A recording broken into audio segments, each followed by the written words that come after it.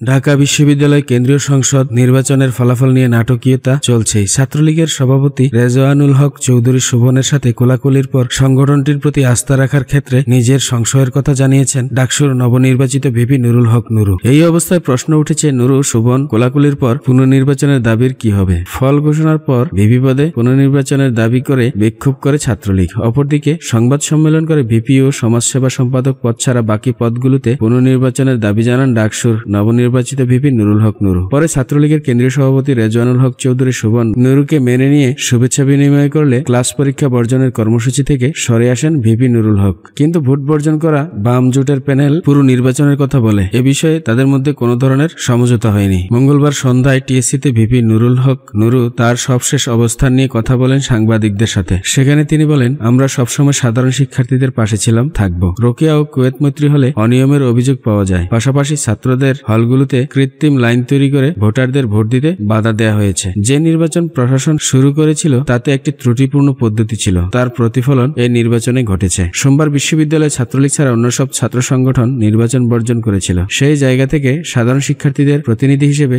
আমিও তাদের দাবির সাথে একমত। আমিও বিশ্ববিদ্যালয় প্রশাসনকে অনুরোধ করব আঠাশ বছর পর যে নির্বাচনটি হয়েছে, সেটি যেন শিক্ষার্থীদের কাছে গ্রহণযোগ্য হয়। সেজন্য এই প্রশ্নবিদ্ধ বা বিতর্কিত নির্বাচনের ফলাফল বাতিল করে দ্রুত নতুন নির্বাচন দিন। নুরুল হক নুরু বলেন, আমরা জানি এই নির্বাচনে অন্যদের হারানোর জন্য নানা রকম ইঞ্জিনিয়ারিং বা কারচুপি হয়েছে। এত কারচুপির পরেও আমি এবং সহযোদ্ধা আক্তার হোসেন বেরিয়ে এসেছি। এজন্য আমরা মনে করি, এ দুটি পদ ছাড়া অন্য পদগুলোতে বেশি কারচুপি হয়েছে এবং সেজন্য আমাদের দাবি ছিল অন্য পদগুলোতে পুনর্নির্বাচন দরকার। তবে সেক্ষেত্রে যদি পুনর্নির্বাচিত হতে হয়, তাহলে আংশিক না হয়ে আমরা মনে করি পুরো নির্বাচন প্রক্রিয়া আবার নতুন করে হতে পারে। একত্রিশ মার্চের মধ্যে হাইকোর্টের রায় অনুযায়ী পুনঃতফসিল ঘোষণা করার আহ্বান জানিয়ে নুরু বলেন নির্বাচন প্রক্রিয়া যেহেতু প্রশ্নবিদ্ধ ছিল, সেহেতু নির্বাচনের সঙ্গে সংশ্লিষ্ট সবার পদত্যাগ করে নতুন নিরপেক্ষ শিক্ষকদের নিয়ে কমিটি গঠন করতে হবে। নুরুর সংবাদ সম্মেলনের পরে টিএসসিতে পুনর্নির্বাচনের দাবিতে প্রশাসনকে তিন দিনের আলটিমেটাম দেন বাম জোটের প্যানেল থেকে ভিপি পদে প্রতিদ্বন্দ্বিতা করা লিটন নন্দী। বুধবার বিশ্ববিদ্যালয়ের রাজু ভাস্কর্যের পাদদেশ থেকে একটি বিক্ষোভ মিছিল উপাচার্য